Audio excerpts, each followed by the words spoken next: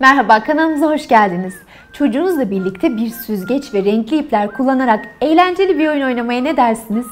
Evde bulunan çeşitli eşyaları çocuğunuzun farklı ürünler oluşturmak için kullanması onun yaratıcılığının gelişmesi için çok önemli.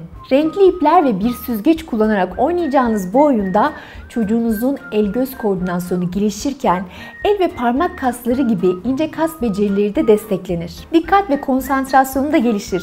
Şimdi gelin bu malzemelerle nasıl bir oyun oynayabileceğinizi birlikte inceleyelim. Öncelikle malzemeleri hazırlayın ve çocuğunuzla birlikte bir masaya oturun.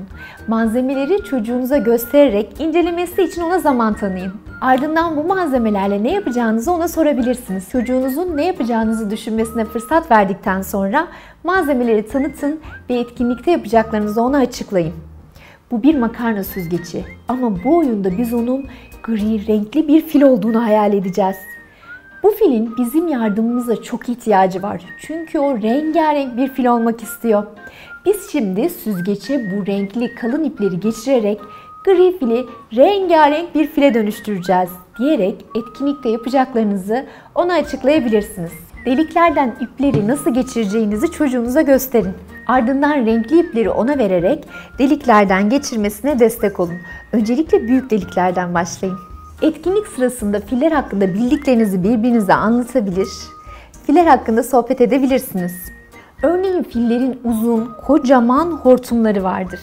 Asya ve Afrika kıtasında yaşarlar. Büyük ve geniş kulakları vardır.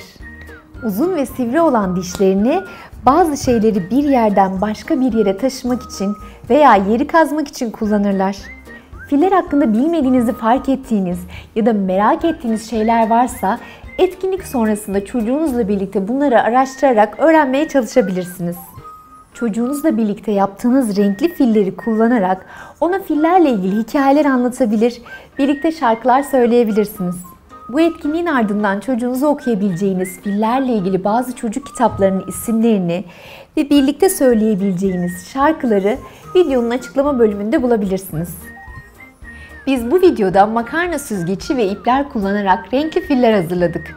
Çocuğunuzla kaliteli vakit geçirmek ve onun gelişimini desteklemek için birlikte oynayabileceğiniz oyunlara ve uygulayabileceğiniz etkinliklere yönelik diğer videolarımıza göz atmayı ve kanalımıza abone olmayı unutmayın.